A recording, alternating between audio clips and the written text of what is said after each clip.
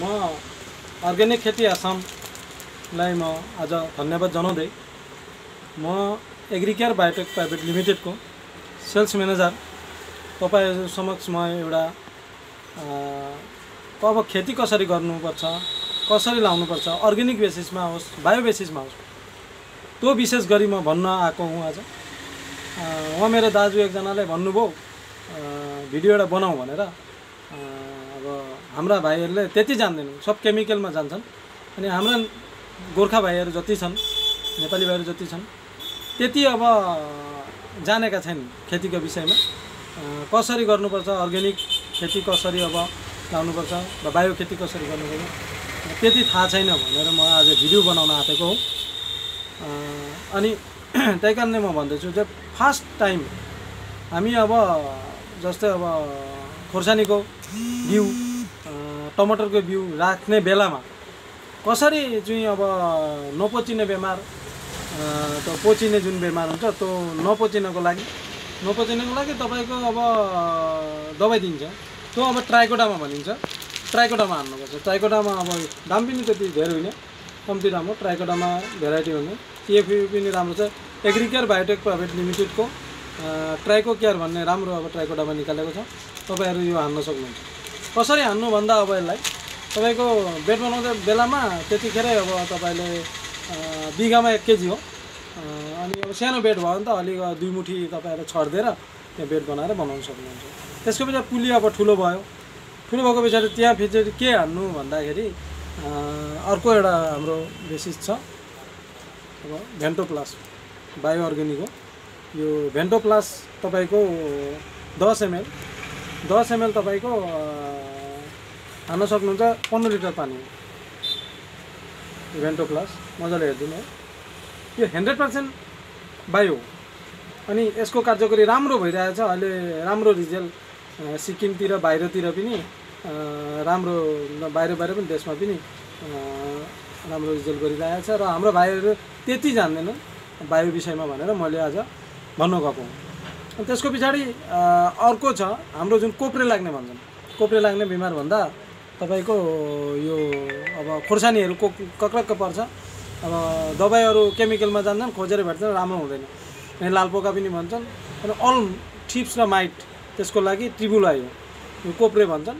कोप्रे अब एक खेप हान्दाखेरि दस एमएल गरेर कोप्रे तर धेर चाहिँ नहान्नु बिस एमएल पन्ध्र एमएल चाहिँ नहान्नु किन नहान्नु यसले अब धेरै हानेछ भने अब राम्रो पठाएको त। एक नम्बर पठाएको अ, राम्ररी बनाएको छ यो। अब हुँदाखेरि के हुन्छ?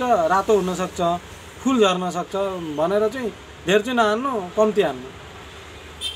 दस एमएल हान्नु पन्ध्र लिटर पानीमा राम्रो रिजल्ट आउँछ।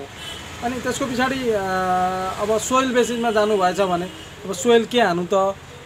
डिएपी जस्तै वा एनपिके जस्तै छ कि छैन के हान्नु त भन्दाखेरि तपाईँको यहाँ अब मेरो हाम्रो राम्रो एनपिके छ यहाँ हेर्नु।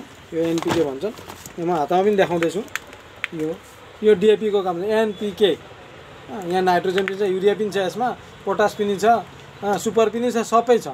तपाईँहरूलाई यो अब युरिया नहान्दा पनि हुन्छ। युरिया त हान्नु भएन। अब अर्ग्यानिक बेसिस गर्दा युरिया हान्नु भएन। हुँदाखेरि तपाईँको बायो प्रडक्टमा जानु पऱ्यो बायोमा जाँदाखेरि अनि खार त के छ भन्दा यही हो। तपाईँको पोटास यो क्याल्सिफोस भनेर आउँछ तपाईँको। त्यसमा तपाईँले गर्न सक्नुहुन्छ। यो अर्ग्यानिकमा अब भारत सरकारको यो एप्रुभ हो गभर्मेन्ट एप्रुभ हो। भारत सरकारले गरिदिएको छ। यो अहिले बाहिर पनि जान थाल्यो। अनि मणिपुरमा पनि जान थाल्यो। आसाममा पनि मजाले चल्दैछ। सिक्किमतिर पनि जान थाल्यो।